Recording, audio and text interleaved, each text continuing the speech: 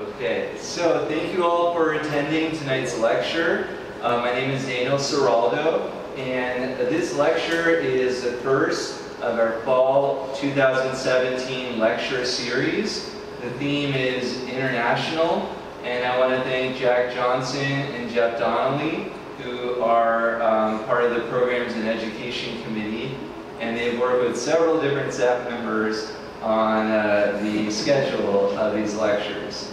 Uh, David's going to be uh, focusing on the architectural aspect. Um, so David is the chair of the Department of Landscape Architecture and Environmental and Urban Design at Florida International University, where he teaches courses in architectural history, theory, and design. His current research deals with urbanism and architecture in Ethiopia and Eritrea from the late 19th century to the present and is the first component in a long-term study of modern architecture and urban planning throughout Africa. He is the author of the award-winning book, The Battle for Modernism, Quadrante and the Politicization of Architectural Discourse in Fascist Italy, which was published in 2012 by the CISA Palladio and Marsilio Editore. He has published articles on architecture and urbanism in Italy and Ethiopia curated the 2012 exhibition Metropoli, Colony, Africa and Italy at the Frost Art Museum and the 2016 exhibition Contemporary Architecture in Ethiopia at the Miami Center for Architecture and Design. In 2014, Ashgate published a critical history of contemporary architecture, which David co-edited with Elie G. Haddad. David earned a PhD at Columbia University and a master's in architecture at McGill University and a bachelor of architecture at the Boston Architectural Center. So we're really honored to have David here, so please give him a round of applause. Thank you. And thank you all, and uh, thank you especially, especially to Daniel for the invitation to come speak. And uh, a note about what um, you're going to talk about today since the exhibition is very extensive uh, in the information that it gives on architecture built during the Italian period in Eritrea, I'm not going to focus on that. What I wanted to do was actually talk about um, mostly architecture built, um, well, since the end of the Second World War, particularly architecture from the last um, decade and a half in Ethiopia and in Eritrea. And so I'm not, I'm going to try not to repeat what's already in the exhibition. What's in the exhibition is fantastic. And the book that was published along with it some years ago is magnificent. And I highly, highly recommend adding that to your library. But what I wanted to talk about was, uh, was basically what life is like now in both Asmara and in uh, Ethiopia, and especially Ethiopia's capital, Addis Ababa. One of the things about the um, the exhibition, my one critique of it would be that because it focuses on a number of you know, fantastic buildings, and even the book is laid out building by building, its one drawback is that it, it does what a lot of us do in architectural history. It tends to present cities as a series of fragments, as if you were talking about you know, this monument, that monument, and so on.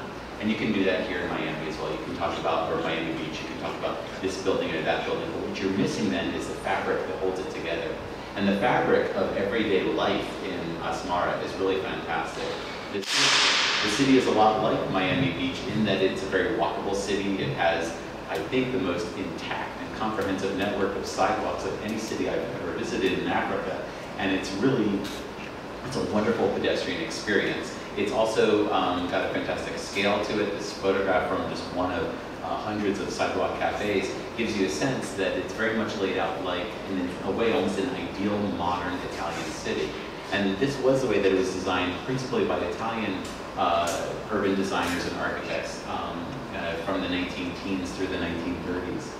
Um, and so on the one hand, we could talk about the great monuments like the Fiat Tagliero station, which is absolutely magnificent. This is, this, I mean, it still astounds me, um, the daring in the structure But two things I want to mention about this.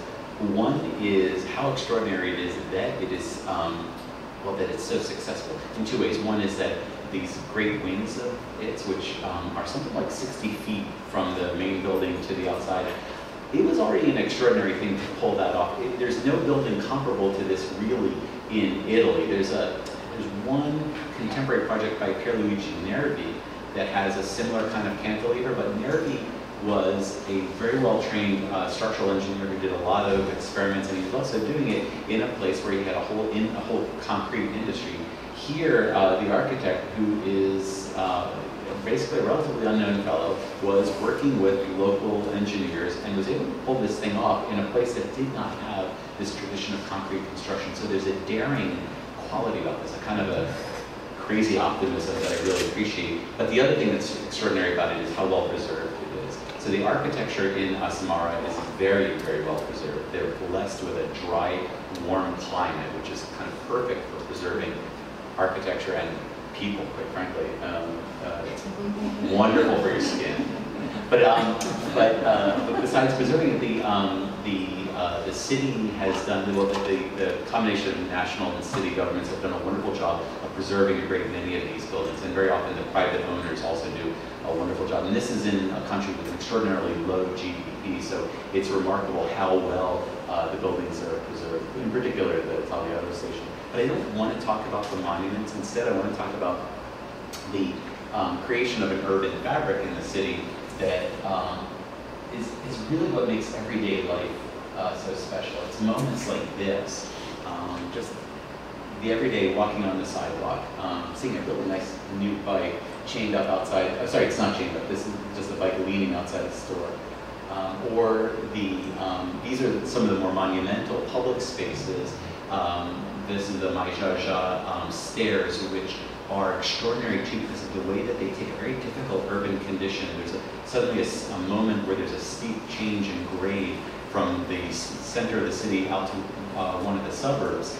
And in that moment, the, the, the idea was sort of created to um, produce a, a, a, cascading fountain with stairs on either side, really beautifully planted gardens, and to use that as a kind of a sort of a, a monumental way of making that transition from the city center to the suburbs and from the lower ground to the higher ground. So there are moments like that, and then there's just the everyday streets, which are lined with buildings that are fairly anonymous. Um, they're not terribly important or magnificent buildings, but they're just really well designed and well crafted. And this is a pattern that was established especially in the mid-1930s, but it's continued to this day, so that all buildings that are built have the same kind of wonderful respect for the sidewalk, for the pedestrian experience uh, walking uh, through the streets. These, and these are almost all buildings from the 1930s, and you can see the way that this is just a minor street that terminates at um, the major road, Harnet uh, Boulevard, which um, in, it frames the, uh, the great uh, uh, cinema, Cinema Impero at one end, and then a smaller building on the other end. But this is just what it's like to walk down the streets of Asmara. And I just want to make that point that what is really special about the city for me, beyond these individual beautiful monuments, is the, uh, the, the, fabric of the city. This is one of the other uh, cinemas. This is one um, built for, a, uh, it's basically a, an after-work club for uh, workers. But after the Italians leave, well, after the Italians are forced to leave, um, well, let me back up a second just to clarify this, when we say the Italians left, uh, the Italian government um, was essentially expelled from, uh, from all of Ethiopia and Eritrea uh, in 1941, early in the Second World War. But a great many Italians stayed on, um, and while they're often referred to as expatriates, they're really immigrants. Uh, these were Italians who chose to move to Eritrea, um, and then later to Ethiopia. They stayed there, they're still there for generations. Uh, and uh, many of their descendants are still building contractors, um, some are architects. And so I wanted to make that point that there is a lot, there was a lot of Italian immigration to Eritrea that helped to um, establish a really extraordinary building industry from design through construction and also patronage. And one of my favorite places in the city is the Expo. Um, in 1969, the Ethiopian government, which um, had assumed control over Eritrea by 1952, the, uh, the Ethiopian government decides to have a big um, exposition in Asmara in 1969. And the fairgrounds are fascinating. They have a lot of these wonderful little experimental buildings made out of thin shells of concrete, really daring designs. You can see the building on the left is totally lifted up off the ground. It has a star-like structure shooting out from underneath they're basically they're really fun buildings. And the main building in the expo is by a guy named Arturo Mezzedimi, who was one of these Italian immigrants to Eritrea. And he's, of all the architects in the Horn of Africa, he, of all the Italian-born architects, he's probably the most important. Mezzedimi was a guy who came to Asmara as a teenager. He was about 18 when his family left Italy. Uh, and then almost right away, Italy loses the war. And so he's basically living in Asmara with tens of thousands of other Italian immigrants. And in his case, facing not great job prospects. So he teaches himself architecture, mostly by uh, looking through magazines. And by the time he's uh, 23, he designs a fantastic covered pool building. Um, and uh, by the 19, mid-1960s, he's come to the attention of Haile Selassie, the emperor of Ethiopia, who um, brings him to Addis Ababa to design the African Hall, uh, Africa Hall, which is the center of the uh, uh, what becomes the African Union uh, as well as a number of other really key buildings like the City Hall. In Eritrea, which is where um, chooses to live, um, he built a number of buildings in Asmara, um, very often in these commercial buildings, but also hospitals and um, uh, various other uh, buildings. He's involved in some infrastructure buildings, some really elegantly designed gas stations. But Mezzedimi is one of the few architects of his generation who emerges um, as a sort of like a major architect in uh, Eritrea. And I mentioned Mezzedimi in part because of the quality of, work, of his work, but also in contrast to the other architects involved in the construction of Asmara in the 1930s, many of whom are not actually not known at all. Uh, even architectural historians like myself have a difficult time finding any information on them. They were very often guys who found their way to the Horn of Africa, um, practiced as was needed and were able to produce work of extraordinary quality without having built up anything of a reputation uh, in Italy. And the thing that I want to, the other point too that I want to make before I leave Asmara is that these buildings that are built in the 1960s, uh, mostly in the 1950s and 1960s, there's a period of expansion of the city. It grows a lot in that uh, the 1950s and 60s as it is part of that sort of larger Ethiopian empire. And the work in the city is, a lot of it is quite beautiful, uh, and a lot of it is also fairly humble um, in construction. This is an apartment building with ground level uh, retail that just has a really elegant way of dealing with a really interesting intersection um, on the, uh, to the west side of the city at a lot of these buildings. They don't seem particularly spectacular, but what I love about them is the way that they engage the fabric of the city, the way they reach out to the street, and the way that they also have a, a, careful relationship of scale to smaller buildings around them. Uh, this is another one like that. I mean, they're, they're really elegant buildings. However, so these are done by the late 1960s. Come 1974, there is a, uh, a revolution. Um, the emperor is deposed and dies. Um, the, his, the, what had been the imperial government of Ethiopia is replaced by a fairly brutal Marxist um, regime called the Derg. And the Derg are particularly brutal uh, in um, northern Ethiopia and in Eritrea. And not only does very little get built in Asmara during that period, uh, starting in 1974, but it also is a period in which the, the, the, the entire country of Eritrea is really um, neglected um, by the central government. And so there's not much that we would talk about in terms of the built environment in Eritrea after about 1970, well, from that period from 1974 to 1991. But this is why I want to make a quick transition to Ethiopia to talk about um, contemporary architecture uh, in this other part of the Horn of Africa. It, essentially, historically, Eritrea and Ethiopia were not connected until Italian colonialism. The Italians colonized uh, uh Eritrea in the late 19th century, and it becomes their um, their base from which to attack Ethiopia unsuccessfully in the 19th century, and then successfully in 1935. And um, Ethiopia goes through a very brief period of occupation, just six years, during which a lot of architecture uh, is built. a lot of it resembling what you'll see in Asmara, but to my eyes, none of it of the quality of Asmara. I mean, the, the quality of the architecture in Asmara is above what the Italians were able to build in Ethiopia, even though they were able to build entire cities all around Ethiopia. But then after the war, again, um, once uh, Ethiopia is independent, um, there's this uh, sort of explosion of construction as the country grows, the capital city, Addis Ababa, grows. And so you get buildings like this, relatively anonymous apartment buildings that I absolutely love. Again, it's apartments above ground level detail. The photograph does not do, do it justice, but it's pretty representative of a whole explosion of really innovative buildings in the 1950s and 60s. And to give you an idea of what Ethiopian architecture is like, this is from the, the long before the Italian period, from the founding of Addis Ababa.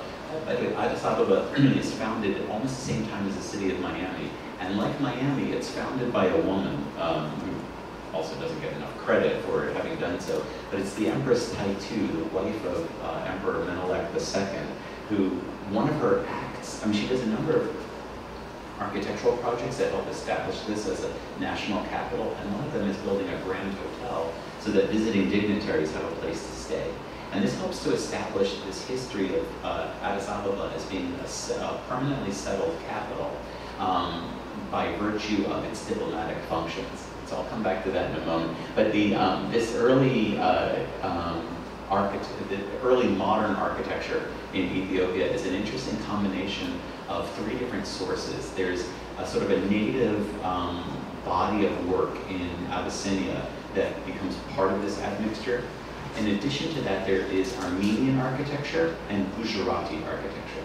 And that sounds really odd, except when you realize that the Horn of Africa was a center of immigration for people from both um, Armenia, you know, modern day Armenia, but also from uh, Western India, from Gujarat, especially what's now Gujarat state.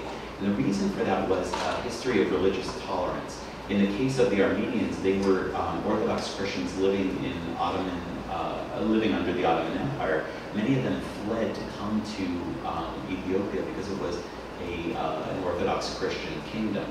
And there they, um, they, they had a number of um, roles within the, uh, the king's court one of which was uh, bringing a tradition of stone masonry construction.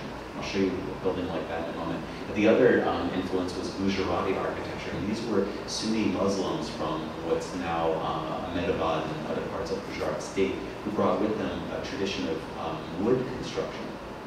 And it's the synthesis of those two that you find in buildings like in the lower left, um, a, a, masonry building built by an Armenian, well, built by an Armenian mason for an Armenian client, and on the lower right, a, um, a royal palace built in the style of this West Indian architecture. And eventually they are fused. The upper right building is another example of the kind of fantastic international mixture that you get in, uh, in Addis Ababa. It's the train station that was designed by French railway engineers who were working for the Ethiopian crown. And this is part of why I'm really fascinated with this place is because it's, um, it's one of the very few cases of a sub-Saharan African country that escapes colonization in the early modern period. And so you start to see what would happen if an African court, an African uh, imperial court, was able to essentially design for itself a capital city and all the other things that go along with it. So in addition to the, the Grand Hotel and the palaces, you also have a railway um, uh, system that connects Addis Ababa, which is the landlocked capital of Ethiopia, with Djibouti, which is a former French colonial port on the Red Sea. And the upper left building is the meteorological station. It's one of the many Italian buildings there, but I, I, threw that in because it's the most Art Deco of all the Italian buildings, I think, in Addis Ababa. But it gives you an idea of the kind of the fantastic range of buildings that they have in the city. And at the same time, this is one of the, the issues that Ethiopia is grappling with now, because Ethiopia has gone through a period of extraordinary growth over the last 10 years. It's probably third in the world in terms of GDP growth year to year after China and India. And so as this country has uh, sort of exploded economically, one of the predictable um, effects is for an influx of people from the countryside to the city. And as they do so, they need places to live. And so much of the housing in Addis Ababa is self-built housing. Uh, it's informal settlements that sort of fill the spaces in between the monumental uh, hotels and office buildings. And while these buildings are of high enough quality that they'll last several generations and be patched and passed on um, from generation to generation. The problem with them too is that they lack land tenure rights. They also lack um, utilities. And while self-built housing works very well at the village scale, at the scale of a metropolis, you start running into problems of access to clean drinking water, electricity, and sewage. And so right now, Ethiopia is grappling with the problem of dealing with these kinds of settlements, which now house as many, perhaps as 4 million people in Addis Ababa, in a city that may be 8 million. The, the, the numbers are debated as far as what the population of the city is, but it could be as many as 4 million people living in self-built housing like this, what they call Kebele housing. And that housing is right next to this. This is the new headquarters of the African Union, and it gives you an idea of why, um, uh, one of the reasons why Ethiopia has boomed as much as it has. Partly it has to do with um, foreign investment. Um, Ethiopia has become a manufacturing center. It started as an agricultural center because of the, the climate and the fertility of the soil and so on. Um, its climate is a lot like that of Colombia, and so like Colombia, it's become a center for cut flower agriculture production. Um, basically, Colombia supplies all of our Valentine's roses. Ethiopia supplies all of the Valentine's flowers to Europe, um, in theory. Anyway, but uh, it, because it's also high altitude, is 7,000 feet in the air. But in addition to being a commercial center, it's become, and it's also become a manufacturing center. There's now a lot of uh, Chinese factories uh, there as labor in China has become too expensive. The Chinese companies are now offshoring uh, low-skill manufacturing like um, clothing uh, to places like Ethiopia. And so that brings this next level of Chinese involvement, which is a $200 million gift from the Chinese government of a new headquarters for the African Union. This pan-African um, uh, um, sort of parliament that's created uh, by a, a, group of uh, leaders like uh, Kwame Nkrumah in uh, Ghana, uh, and Gamal Abdel Nasser in um, Egypt. It, this group also included uh, Haile Selassie, who wanted to house this, um, this sort of continental um, parliament in Addis Ababa as a way of establishing the importance of Ethiopia within this newly decolonizing Africa after the Second World War. Well, the new home for the African Union is this extraordinary structure that's essentially offered as a gift by the Chinese government, designed by architects in uh, China, um, built by a Chinese construction company using local labor. It's pretty, um, it, it's pretty indicative of the kind of construction that's happening a lot across the continent except that this one is an outright gift rather than a kind of a, uh, a mortgaged project. But so um, the diplomatic functions of, uh, of Addis Ababa, and here's the, the, building in its context uh, within this kind of rolling topography surrounded by mountains. The, um, the diplomatic functions of the city are one of the sources of its uh, really interesting contemporary architecture. And so I'll just take a moment to mention some of them. This is the new South African embassy, which was designed by MMA Architects, one of the, the, the leading firms in South Africa. Um, it's one of several buildings in Addis Ababa that are designed by architects from other parts of Africa. And so you now have this sort of fantastic infra, yeah, intra-African architectural uh, discourse happening where architects from Abidjan and from uh, Johannesburg are uh, working in Addis Ababa now. This is a really, I think, a really promising development so that they're not just bringing in star architects from, uh, from Europe, but from other parts of uh, Africa. Uh, and this is a European architect. This is the, um, the Dutch embassy, uh, which is an extraordinary building um, uh, by a firm that no longer exists in, in the Netherlands, unfortunately. But it's a building that has this really eloquent way of dealing with the landscape. The, the chief idea here is that you've got this horizontal roofscape that collects water in between these raised elements, and then this undulating ground. And between the flat and the undulating is kind of a metaphor for the relationship between the Netherlands, with its relentless flatness, and Ethiopia with its extraordinary topography. And in that space in between is the diplomatic space of the embassy. It also makes references to the rock-cut churches at Lalibela, uh, with the, the, the, quality of the, this is concrete, but it's concrete that's been pigmented to look like the volcanic stone uh, in that northern part of Ethiopia.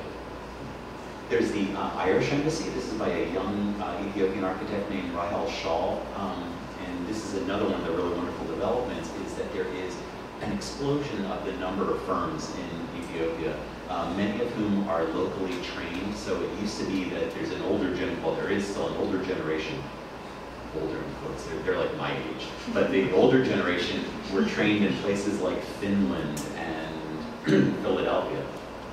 The younger generation are, all, are increasingly trained at the E EIABC, the uh, Great Architecture School in Addis Ababa.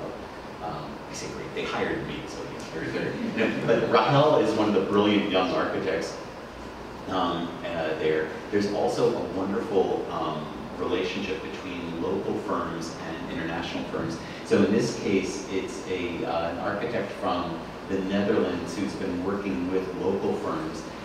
this was a competition-winning project for the new Parliament building. Not sure if it's going to be built, but it's um, a, a, it's a project that does wonderful things in terms of creating public space and also for dealing with take, well, basically taking very difficult topographical conditions, like an extreme change in grade from the part up at the top where you're at ground level to the part down below where you're suddenly four stories below uh, that ground level, right? So it's, it's dealing with this kind of really difficult topography, but doing so in a really eloquent way to create public space. And at the same time, very clearly uh, identifying itself as a parliament with these wonderful um, uh, parliamentary chambers and meeting rooms that are set within the, the larger sort of bureaucratic office uh, space. And in addition to the, um, the other diplomatic functions that are happening within Addis Ababa, you also have um, these non, they're not, they're not quite state uh, agencies, but things like the British Council, whose uh, office building, which is a collaboration between their in-house architect and a local architect, is just, a, it's a, yet another really elegant uh, building. So there's also a lot of architecture happening outside the capital, and this is one of the other uh, really promising developments. One is uh, a growth in a number of administrative buildings for the different regions in the country. And so in Amhara, which is the, the province uh, directly to the north of Addis Ababa, just off of the shores of Lake Tana uh, and along the Blue Nile. This is uh, kind of a tributary of the Blue Nile, basically the, the source of about 80% of the water that will eventually flow through Egypt. This is the, um, the parliament building, or uh, state capitol building for the Amhara uh, parliament. And this too is designed by uh, young architects, young as in they're younger than me, in Addis Ababa.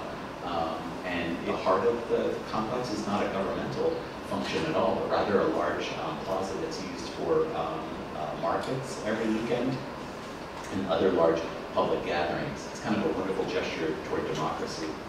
And then just like in the United States, one of the other great um, sources of patronage for contemporary architecture is in institutions like universities.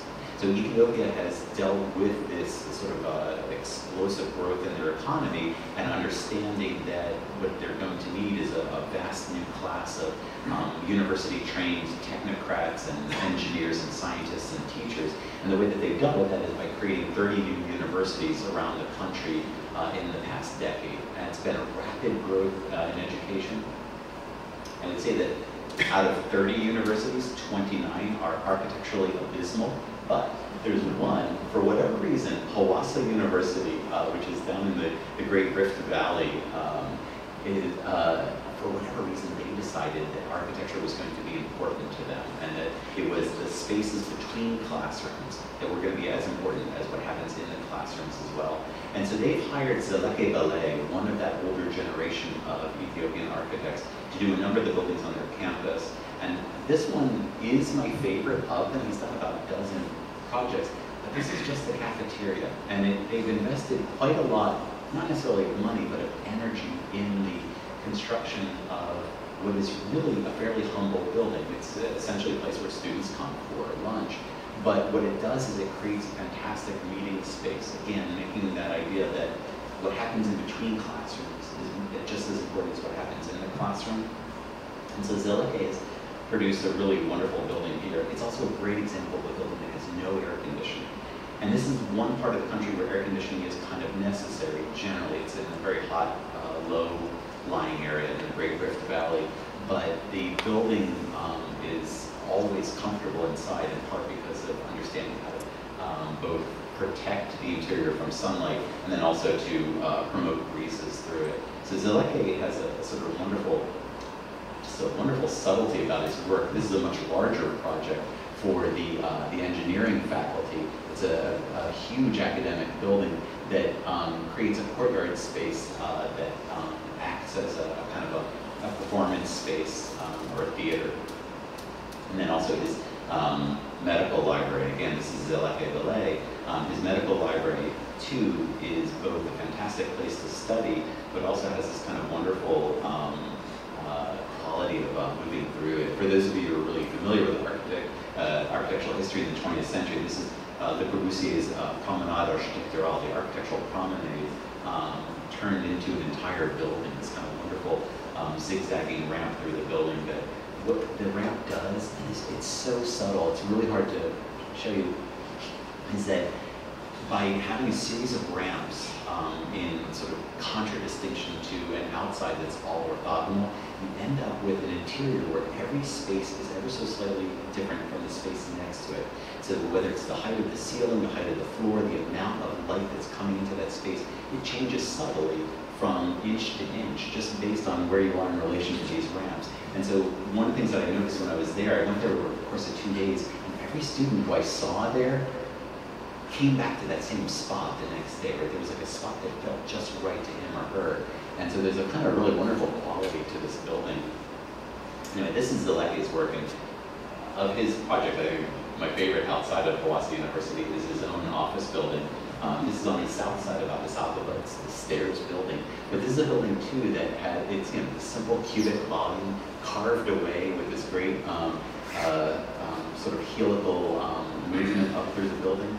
The thing that I could never capture in photographs here is what the experience of walking up that stair is like. It's on the southwestern side of a city that is ringed by mountains and whose own topography is quite extraordinary. Addis Ababa goes from about 7,000 feet to about 9,000 feet in elevation within its city limits.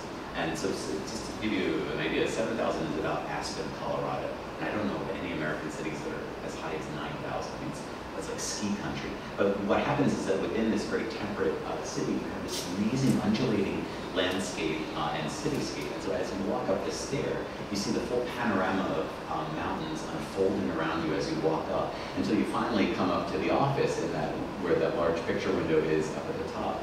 And it looks back out over the city. And because you're facing north, the sun is always behind you. And so the city's always lit very spectacularly from up there it, it's kind of like a love poem to the city, um, and of taking in the surrounding countryside and then the, the heart of the city up at the top. Cannot speak highly enough about his work. Um, at another end of the spectrum, in terms of architecture, is the work of Meskerem Assegued and Elias uh. Meskerem is a, an artist who's trained as an anthropologist. Uh, she started this gallery called Zoma, um, or the Zoma Contemporary Art um, Center, ZCAC. Um, this is outside the center of, uh, of the city, but it's actually it's still surrounded by diplomatic missions. The Vatican embassy is nearby, the Angolan embassy is down the street. And this is a building that is made entirely of mud and thatch and woven materials and some wood inlay. The exterior uses a kind of mud construction that was once traditional but has really disappeared. It's um, basically it's uh, mud mixed with straw for reinforcement, and then to make it really hard, it's coated with a mixture of fermented cactus juice. I kid you not. And somehow, when it's uh, allowed to bake in the sun, it becomes incredibly hard, such that these handles that Elias um, just uh, sort of uh, sculpted into the exterior, they're strong enough for me to climb on them. Um, really remarkable building. Part of um, Elias and um, uh, goal is to help bring back this tradition of mud construction that once existed in parts of Ethiopia. And this is images of the outside and the inside of the building. The roof is um, uh, basically woven um, bamboo structure covered with traditional thatch. And then on the inside, Elias spent about a year doing um, these really careful wood uh, inlays using all trees that had been felled from the site or nearby. Anyway, it's a really remarkable um, complex. And so there's there's this amazing range of architectural production. Another building that has a similar kind of aesthetic and materiality to uh, gallery is the new Botanical Garden um, uh, Welcome Center. Um, and this is one building I haven't been to. This, these are not my photographs. But the, um, the Welcome Center is another building that has this kind of really wonderful idiosyncratic undulating sort of geometry. The roof is designed to be a living roof, fully planted in keeping with its mission as a botanical garden. And I wanted to show you the model and some of the drawings just because this thing is entirely designed on a computer. I mean, I think they started by hand, but it's produced using um, CAD software like any contemporary building. It's just that it's then rendered in mud and uh, timber. Um, amazing kind of structure. And in a similar vein, there's also this kind of mysterious building out in out in Lalibela, the, the, um, where the, these famous rock-cut churches are, this uh, other UNESCO cultural site in northern Ethiopia. There's this restaurant called the uh, Ben Abeba restaurant. It's designed by two young architects. And when I say young, these are guys who have just graduated uh, from the school in Addis Ababa. Um, they were hired by the woman who had started the restaurant. I never been able to find these guys. Nobody I know has been able to find them. There's they, it's like they've disappeared. But they did this one building, this one extraordinary building that also has this kind of amazing idiosyncratic geometry and everything about it. This one, however, is done in concrete. And part of the reason I want to find them is I want to find out how they ever transmitted this idea to a building contractor. because it's not as simple as, you know, you sketch something in dirt and say do that. Um, but it is extraordinary. The, the, other cool thing about this restaurant is that each one of these pods has its own name. So they don't have dining rooms, they have these dining pods. Anyway, it, it's an extraordinary building, and the, the views are breathtaking. I mean, basically you have um, hawks and um, vultures circling below you coming up the, uh, the mountainside. But there's, there are some other interesting buildings like this. Um, Fasil Giorgis, who is the best known of contemporary Ethiopian architects, in part because he's also the best known historian. He's actually the really one major historian um, of Ethiopian uh, modern architecture. Fasil um, has done an incredible range of buildings. He has no signature style. And one of the buildings I find really interesting is this uh, theater that he built on the side of the oldest cinema in Addis Ababa. The building to the left is a cinema from the first decade of the 20th century, and it's been in constant use um, since then, which is extraordinary because most cinemas from that period tend to burn down. But this um, uh, this uh, moving picture house has attached to it this kind of extraordinary outdoor um, theater. It's a kind of an amphitheater with this um, uh, retractable roof structure over it. And so I, I, guess I just want to make the point that there's a number of architects who are working in this kind of almost funny, hand-built tradition. But at the same time, Fasil is has since he done he did this has become much more interested in contemporary or sorry in traditional building techniques, and so he's done work in uh, the traditional um, masonry construction methods of the Tigre. Um, he did the museum that's behind the Stela field in Aksum. Uh, and he did that all in a local building tradition such that you can't even tell that it's a new building. It just looks like um, part of the neighborhood behind the um, Stela uh, field. And he's done other work in mud and thatch. But the work, the project that he did that's most poignant is a project that's built in the heart of um, Addis Ababa, and it's a project that is a memorial to the, uh, the very bloody purges of intellectuals, students, and workers um, during the communist regime in the 1970s. Um, it was called the Red Terror, this uh, period. And so this is the Red Terror Martyrs Museum. This is also an event, the Red Terror is also an event that is part of the reason it leads ultimately in part to the, um, to the separation of Eritrea and Ethiopia, in part because of the brutality of the regime, um, uh, basically spurs um, the resistance movement that will eventually lead to overturning the regime, but eventually also to the divorce between the two countries in 1991. And so the, um, the uh, Red Terror Martyrs Museum really a poignant project. One thing I want to point out about it too is that when Fasil was approached by the government, the, the, the, the, national government to build this memorial, their first idea was to take Meskel Square, which is the, the great open public space at the heart of the city, the pla- a space that's designed to accommodate hundreds of thousands of people uh, at large events. And they wanted to build some kind of major monument right in the middle of it, maybe erect a big statue of a freedom fighter or an intellectual or something. Like, no, no, no, no, no. I mean, basically told them that's what they would have built.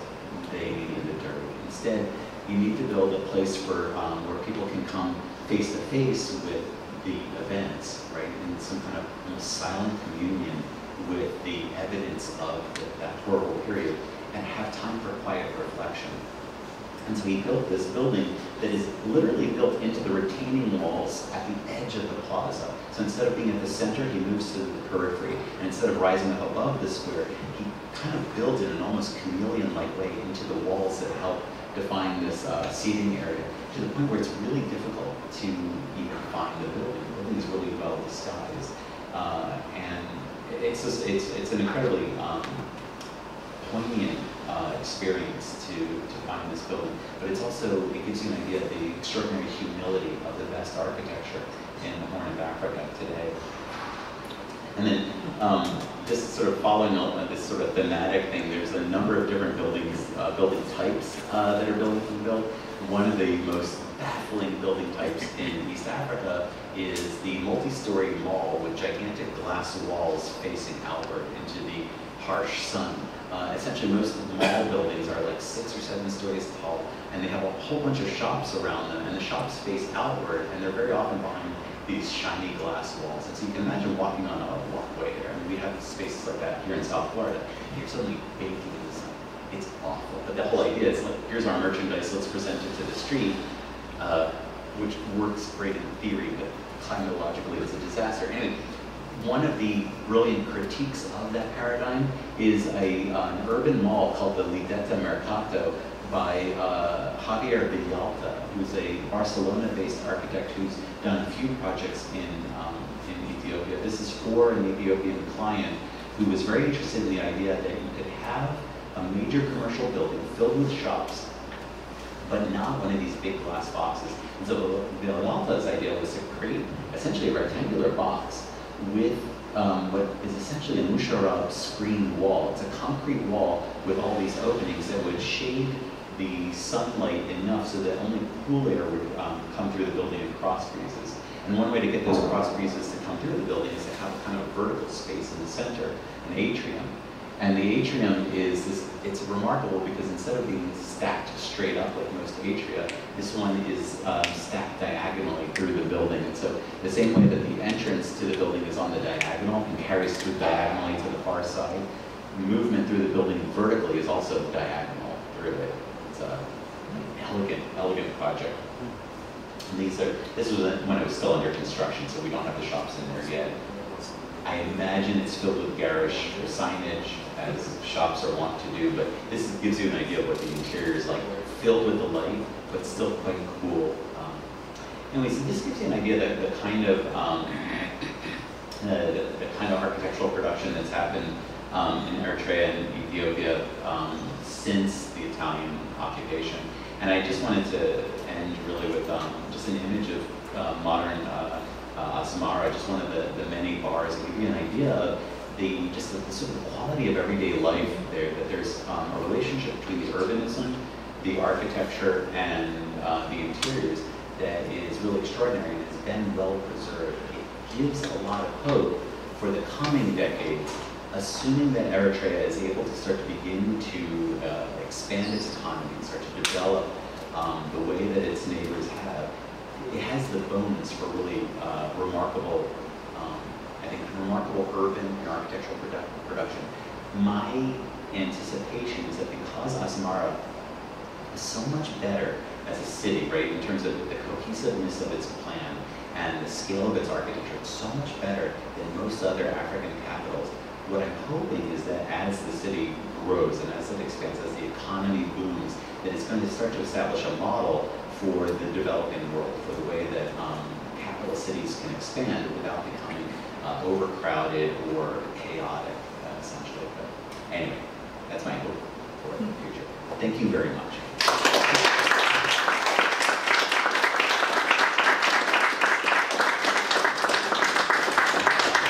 So, uh, thank you so much, David. If anyone from the audience has any questions.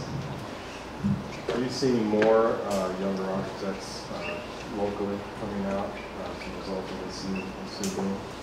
Like you discussed in the lecture, are you seeing more younger architects that are actually, uh, you able to find them, uh, that are working? Yeah, I, well, the question is, are you finding more younger architects? Younger architects. In Ethiopia, yes, but not in Eritrea. Um, not yet. So the people who I've met in Eritrea are more involved in historic preservation, in part because this, the, the Asmara city government and municipality and the national government have put together this enormous effort. I mean, it's a huge office that is responsible for the UNESCO um, uh, application.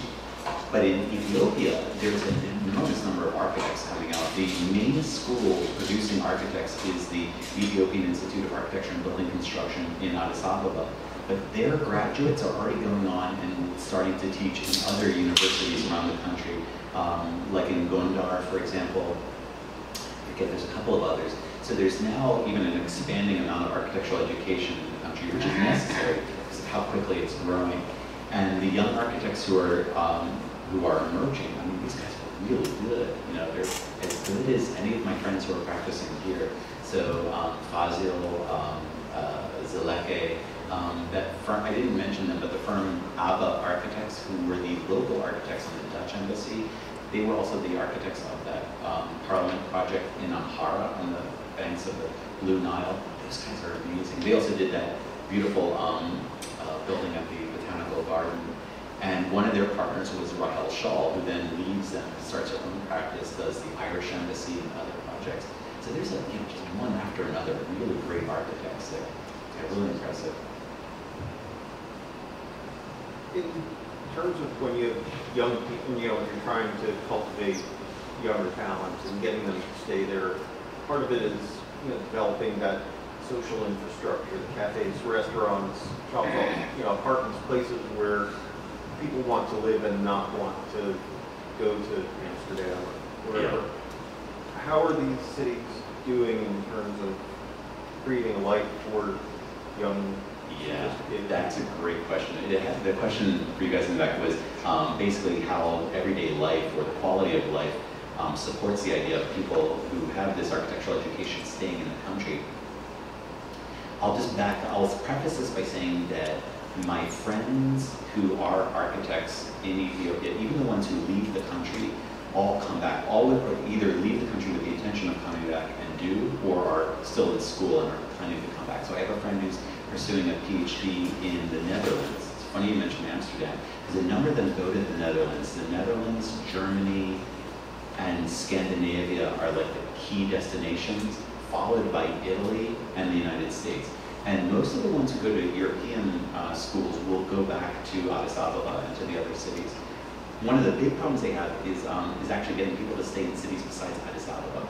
So, um, so a friend of mine who studied in Addis um, went on a, a government scholarship, and the condition of it was that he would then spend three years teaching at a, a school in another part of the country.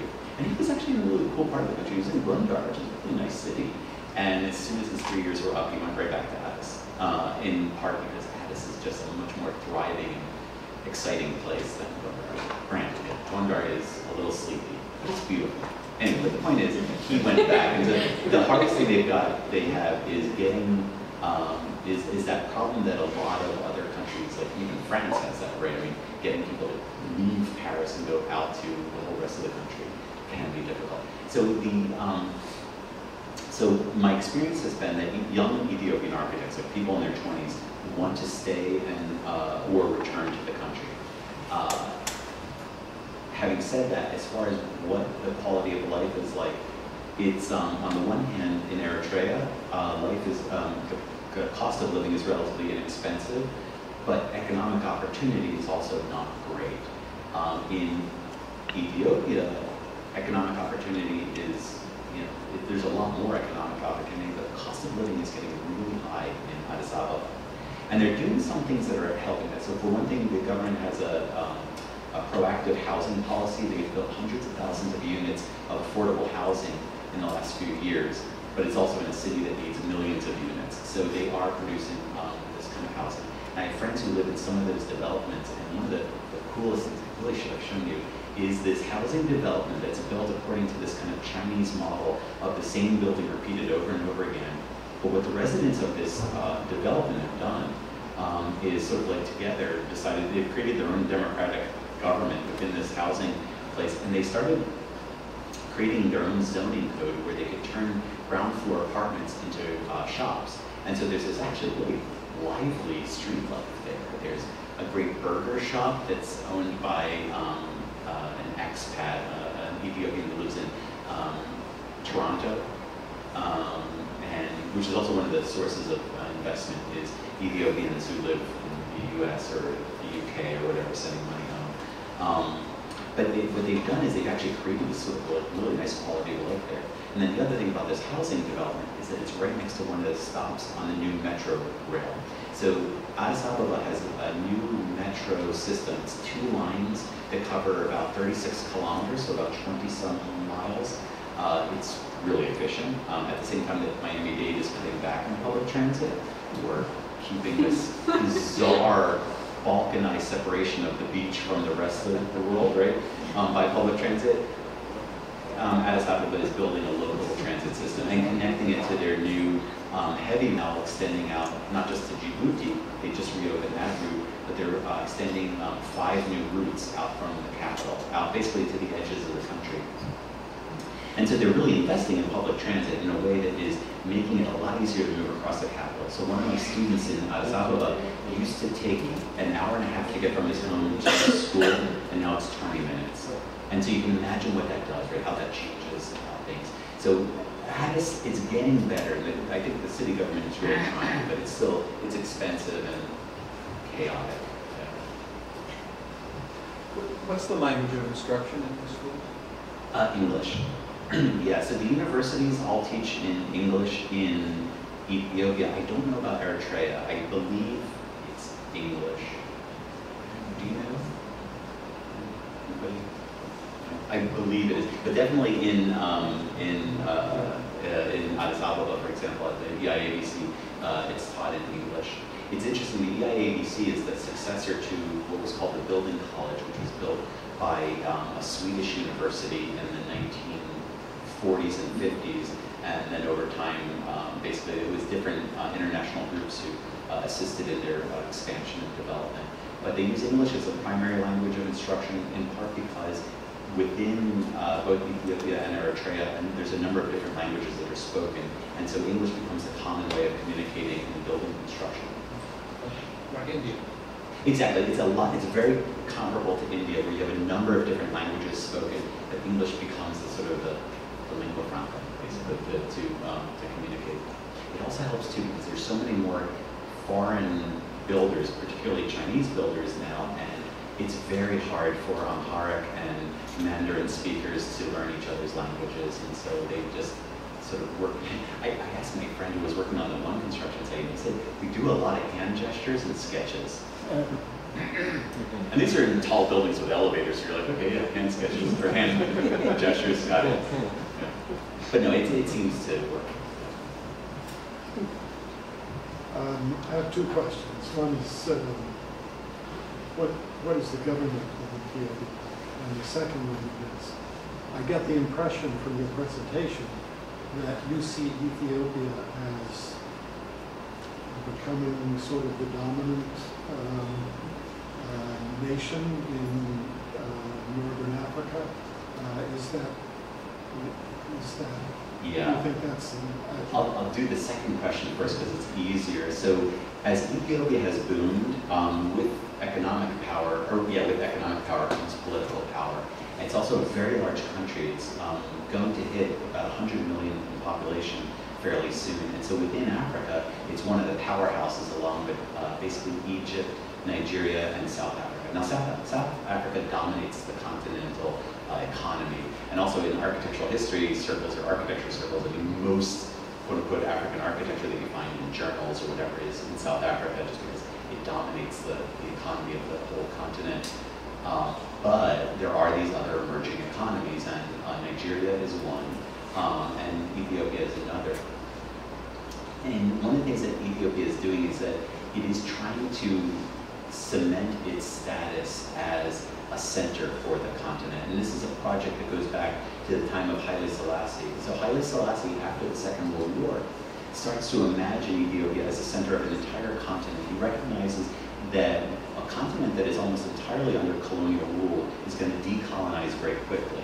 Uh, the same way that Ethiopia and Eritrea and Somalia had once the Italians were kicked out. Uh, and he recognizes that Ethiopia could have an extraordinary position within that continent. And that's why he uh, helps to found um, what becomes the African Union, basically this idea of a, a government for a continent.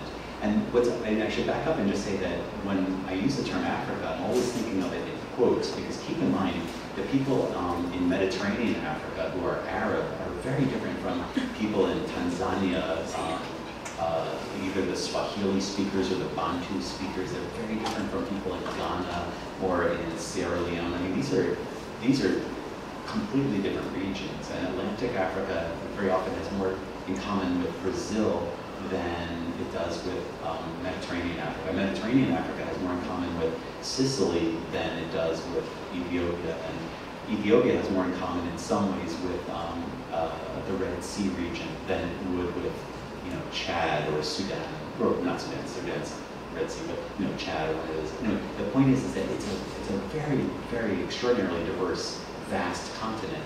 And yet Ethiopia has always presented itself in modern times as the center of, at the crossroads of the center of the continent.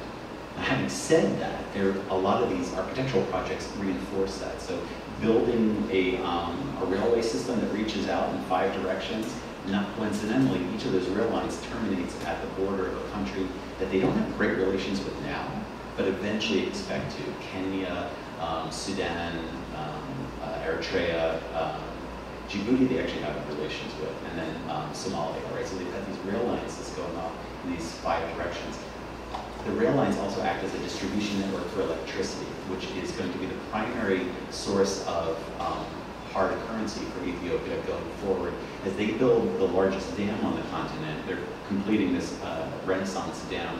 Uh, they call it the Ethiopian, the Grand Renaissance, Grand Ethiopian Renaissance Dam. It's on the Blue Nile, very close to the Sudanese border it's going to produce an extraordinary amount of power, half of which is going to be exported on lines that will follow the rail lines, and that will be basically a form of uh, foreign uh, exchange revenue for them. And so they're establishing themselves like that. Um, so yeah, I think that it is, it's, it's basically, and it's becoming a model of a developmental state. Now having said that, the question about the government is harder and more controversial to answer. Modeled on that of South Korea. And South Korea now is, you know, a modern democracy, a modern first world democracy. But remember that South Korea for a while was a developmental state, rapidly um, industrializing, but with a non-democratic government. And eventually it becomes democratic. Well, nothing just becomes, that's passive voice. No, basically power is, power is actively seized by the masses. Anyway, so South Korea will eventually become a democracy um, in this sort of historical trajectory. Well, Ethiopia is planning the same thing. So all of my friends there who are very aware of what it's like to live in a democracy, because they've spent time in the US and um, uh, Europe and so on, they still are willing to live with a government that's only nominally democratic. There are elections, but you've got 500 seats in parliament and they're all held by one party. So the elections are really a kind of a ritual performance. They're not, change things. And so, but my friends there, these middle class friends, are, they all say prosperity first, democracy second. And what's happening though right now though is that the country is going through, inevitably that always leads to violence, right? There are ethnic problems, right, that have been simmering under this uh, surface. There are large groups of people who have effectively been shut out of power, out of government and economic power, and now that is returning uh, with a vengeance. And then the problem that in a modern democratic world that's connected to the rest of the planet through Facebook and Twitter, you also have journalists who are jailed and, and things like that. And so the, the country is going through a really difficult period right now politically. There's a lot of violence um, uh, for the first time really since the end of the Derg. And so it, yeah, anyway, it's a, it's a very difficult time. All right, thank you guys so much.